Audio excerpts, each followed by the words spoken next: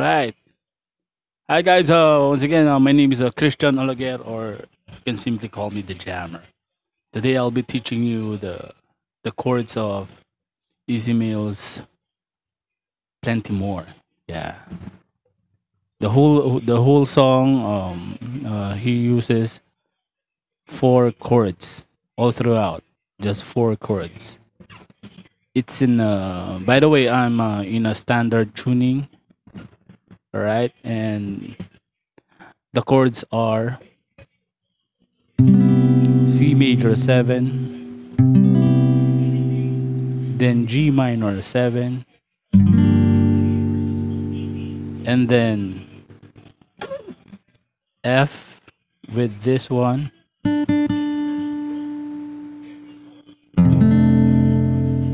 and then G sharp with this one also on the second string. That's it. That's the full chords of the song. Two, three, four. Two, three, four. Two, three, four. Right? This is the C major. Start on the fifth string, third uh, third fret, then on the fourth, fifth uh, fifth fret, and on the third, fourth, and then second string, fifth fret, and this one, the last string, the first string on the third. So that's the form of C major 7.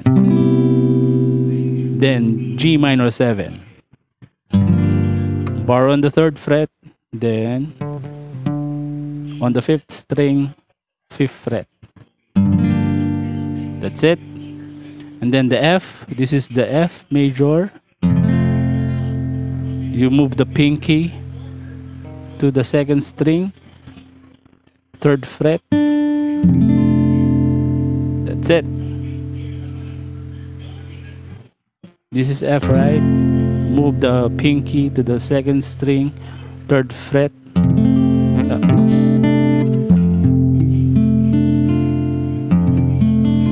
And then G sharp 7. This is G sharp. One, two, three, four.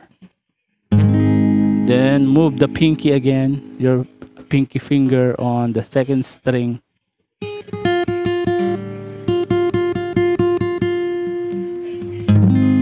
Just like the F. So that's it. C major 7, G minor 7, F7 with I don't know how do you call this. Then G sharp with something here. That's it. Then let's do the the ad lib part.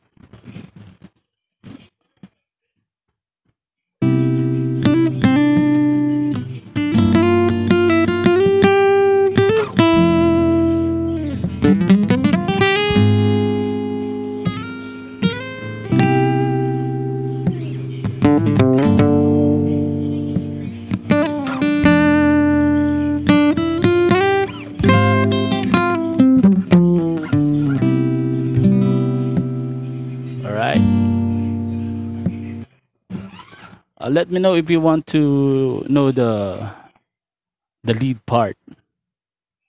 It's a it's a bit hard, uh, especially the rolling and the last part.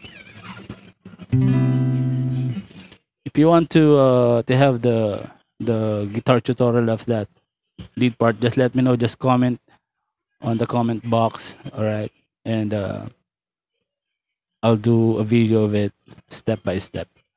All right, rock and roll. Once again, my name is Christian Olaguer. You can simply call me the Jammer, and I'm out. Thank you. Please uh, do like and subscribe. God bless.